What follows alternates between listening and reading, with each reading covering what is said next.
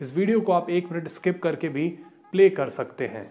नमस्कार दोस्तों, कैसे हैं आप लोग? हम फिर से वापस आ चुके हैं एक नए वीडियो के साथ। तो गाइज़ अगर आपने अभी तक हमारा चैनल सब्सक्राइब नहीं किया है प्लीज़ सब्सक्राइब कर लीजिए और इस हमारी बेल आइकन को भी दबा दीजिए। इस वीडियो को लाइक करिए कमेंट करिए और अपने फ्रेंड के साथ फैमिली के साथ इस वीडियो को शेयर करिए।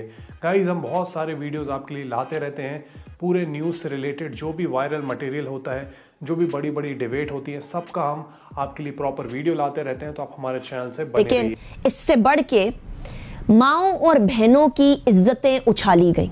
माओ और बहनों की जो घरों में बैठी हैं, जो बाहर आई हैं बाइज्जत रोज़गार कमाने के लिए, उनकी इज्जतें उछाली गईं। एक तो मुझे इस बात की समझ नहीं आती कि जब हमारे मर्द हजरात, जिनकी मर्दानगी इस कदर बढ़ जाती है तो उनको गालियों के सहारे के लिए माओ और बहनों की क्यों ज़रूरत पड़ती है? आज वफाकी हुकूमत के नुमाइंदों की तरफ़ से M N M N A बिलखसूस अली अवान की तरफ़ से, और अपोजिशन के भी बहुत सारे हजरात की तरफ़ से माओ और बहनों की गालियाँ बकी गई। पार्लियामेंट के फ्लोर पे बकी गई। और अजीब बात यह कि स्पीकर कौमी असम्बली डिसिप्लिन को नाफिज करने में कंप्लीटली नाकाम रहे। मैं वो गालियाँ तो नहीं सुना सकती आपको, लेकिन वो अहवाल ज़रूर दिखा सकती हूँ। जरा मुलाहजा करिएगा, आज कौमी असम्बली में क्या हालात थे?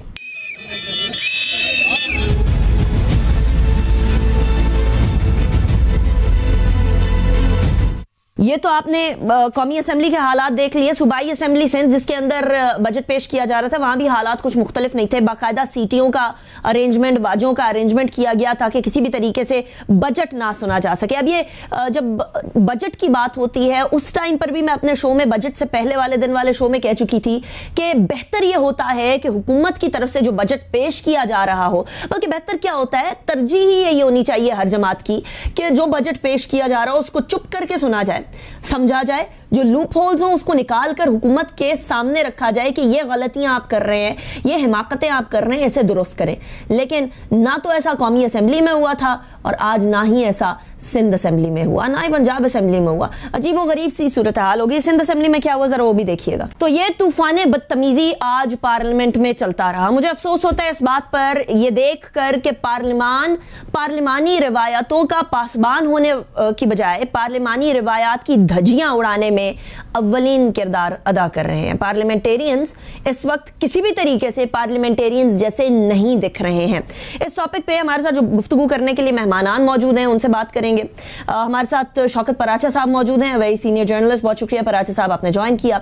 जनरल गुलाम मुस्तफ़ा हमारे साथ मौजूद होंगे वेरी वेल नोन एनालिस्ट बहुत शुक्रिया जनरल साहब आपने भी हमें ज्वाइन किया। साहिबजादा सिबगतुल्ला हमारे साथ मौजूद होंगे पाकिस्तान तहरीक इंसाफ के एम एन ए उनसे भी इस हवाले से जानेंगे कि हुकूमत को क्या हो गया कि उसको गालियाँ देने की ज़रूरत पड़ गई। और एक और मैटर है जो कि इस्लामाबाद जबकि आप बजट पेश कर चुके हैं अपना। कायदे इस वक्त तलाफ ने आ, करनी है स्पीच करने दें सुन लें और उसके बाद फिर बजट की तरफ़ बढ़े। बहुत शुक्रिया। यही तो एनॉमली है। जब आरटीएस फेल करके इनको लाया गया है तो यही रिज़ल्ट देंगे वो। यानी ये अजीब है कि हुकूमत एहतजाज कर रही है। ये ये पहली दफ़ा मैंने पार्लियामेंट में देखा है कि वजरा खड़े होकर एहतजाज कर रहे हैं।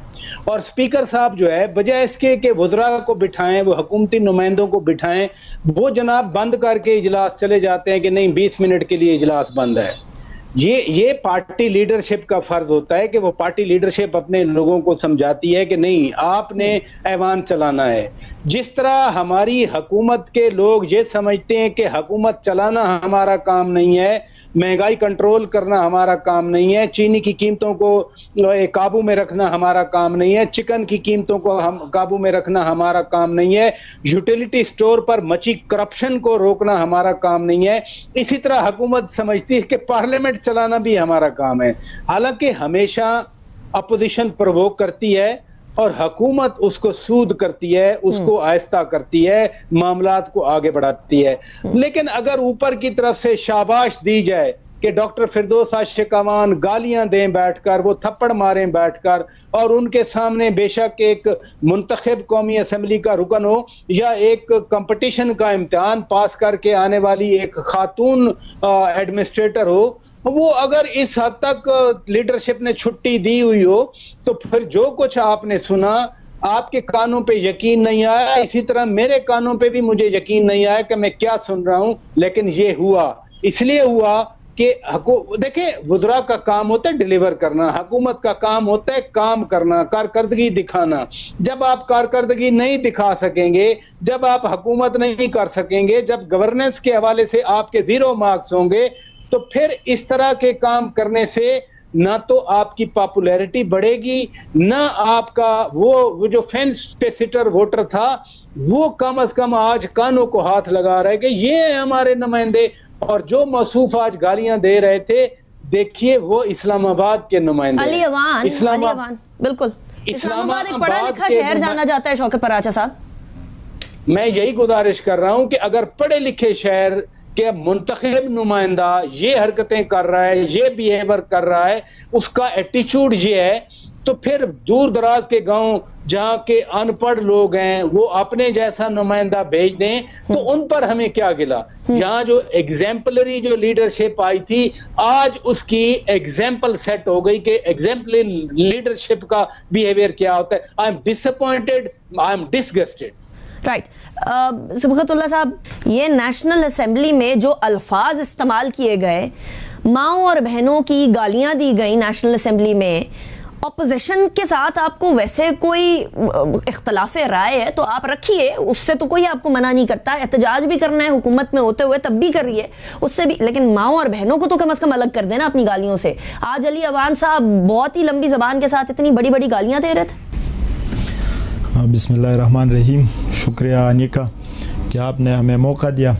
बिल्कुल जी ये मैं समझता हूँ कि एक अफसोसनाक जो हुआ एक अफसोसनाक वाक़ है आ, और मैं डिफेंड नहीं करता। देखिए जी पार्लियामेंट्री डेमोक्रेसी में ट्रेजरी बेंचेस और अपोजिशन। अपोजिशन के बगैर या ट्रेजरी बेंचेस के बगैर पार्लियामेंट्री डेमोक्रेसी नामुकम्मल है। हम्म। बदकिस्मती से शुरू दिन से। तो दोस्तों ये वीडियो यहाँ पर होता है ख़त्म। आप यहाँ से ये वीडियो छोड़कर जा सकते हैं। तो दोस्तों इस वीडियो में आपने देखा कि अनिका निसार वही खत्ते वाली उनका वीडियो मैं वापस लाया हूँ। हालाँकि अब ये उतनी इंटरेस्टिंग रह नहीं गई है जितना इनका पुराने वीडियो में मज़ा रहता था। अब ये मतलब इनको रिप्लेस कर चुकी है फ़िज़ा खान। तो दोस्तों इस वीडियो में आपने देखा पाकिस्तानी मीडिया आज के दिन पूरी तरह से फोकस है। पाकिस्तान की संसद में जो हंगामा हुआ है मतलब जो बिग बॉस बनी है पाकिस्तान की संसद, वो मतलब आप देख सकते हो। पाकिस्तान की संसद में आज की फुटेज कुछ ऐसी फुटेज थी जिनको मैं अगर दिखा रहा हूँ तो यूट्यूब मेरा वीडियो बैन कर सकता है। मतलब आप समझ सकते हो कितनी ज़्यादा एब्यूसिंग और कितनी ज़्यादा मार पिटाई थी। तो उस नज़रिए से आज की जो मतलब आप समझ सकते हो वीडियो वो वाली तो मैं ओरिजिनल वीडियो अपलोड नहीं कर पा रहा हूँ। उस वहाँ पर जो हुआ, उसके बारे में डिस्कशन हो रहा है, वही अपलोड कर रहा हूँ। तो गई पाकिस्तान की सदन में आज जो हुआ है, पाकिस्तान की सदन में आज सबसे पहले तो क्या हुआ? पाकिस्तान के जो अपोजिशन पार्टी के लीडर थे सावा शरीफ, वो बजट को लेकर अपना मतलब स्पीच दे रहे थे। जिसके बाद पाकिस्तान के जो करंट पार्टी है, जो मेन पार्टी है पीटीआई उसमें उनके लोगों ने हंगामा शुरू कर दिया। और हंगामा इतना आगे बढ़ गया कि मतलब आप समझिए कि मारपीट की नौबत आ गई, गाली गलौज, औरतों से के साथ बदतमीजियाँ, इस तरीके की हरकतें होने लगी पाकिस्तान की पार्लियामेंट में। इसको लेकर काफ़ी मीम्स भी बन रहे हैं। अगर आप सोशल मीडिया पर हैं तो सोशल मीडिया पर जाकर देखें, जो गालियाँ हो रही हैं, उन गालियों को पाकिस्तान की संसद में जो मतलब सभापति हैं, वो हिंदुस्तानी भाव को बना दिया गया है और विराट कोहली भी कई बार दिखाई जा रहे हैं। मतलब ये है पाकिस्तान के जो सभापति, अगर पाकिस्तान में इस तरीके की गालियाँ दी जा रही हैं तो।